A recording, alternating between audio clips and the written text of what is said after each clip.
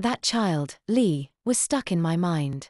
I remembered Amber's words very clearly. If only those that didn't take an interest in Lea knew just, just how she touches your heart. Those words burned with anguish in my heart. I felt I really had a chance for the first time to truly help someone. Marsh. Marshall. Hello. You there, buddy?